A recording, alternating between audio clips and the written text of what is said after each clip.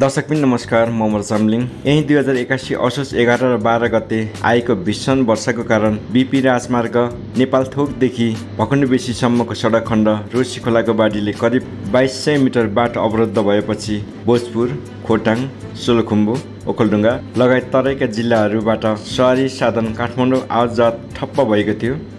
असोज तेह्र र चौध गते खोटाङ भोजपुर ओखलढुङ्गा र सोह्र जिल्लाका सवारी साधनहरू घुर्मी कटारी हुँदै र असोज सोह्र गते खुरकोटको बाटो खुलेपछि खुरकोट सिन्धुली बर्दिवास हेटौडाबाट बाइरोडको बाटो भएर सवारी साधनहरू काठमाडौँ आउने जाने भइरहेको थियो। असोज अठार गतेबाट अर्को वैकल्पिक बाटो सितखाबाट पत्ता लागेको छ। मुलकोटबाट दुई किलोमिटर पार गरेपछि त्यो सितखा भन्ने ठाउँ पुगिन्छ। सितखाबाट एक किलोमिटर तल सुनकोसीको मोटेरेबल पुलबाट पारी तरेर दक्षिण पूर्वतर्फ एक किलोमिटर यात्रा गरेर दस किलोमिटर उकालो काटेपछि गोगने पानी डाँडो भन्ने ठाउँ पुगिन्छ। उक्त डाँडोमा दुईवटा बाटो छ। राइट मोडेर बाह्र किलोमिटर ओह्रालो लागेपछि भट्यौली खोला भन्ने ठाउँ पुगिन्छ। उक्त खोलाबाट पाँच किलोमिटर पूर्वतर्फ लागेपछि रामेछाप जिल्लाको सदरमुकाम मन्थली जाने तामाकोसीको आकाशे पुल तरेर लेफ्ट भएर तामाकोसी हुँदै जानुपर्दछ।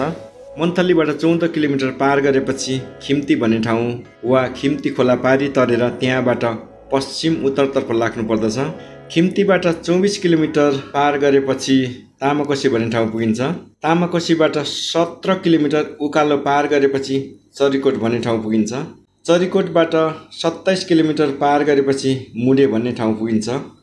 त्यस्तै गरेर मुडेबाट पच्चिस किलोमिटर तल सुनकोसी झरेपछि खाडीचौर भन्ने ठाउँ पुगिन्छ। राइटतर्फ गइयो भने तातो पानी लेफ्टतर्फ लागेर चौबिस किलोमिटर यात्रा गरेपछि दोलालघाट पुगिन्छ।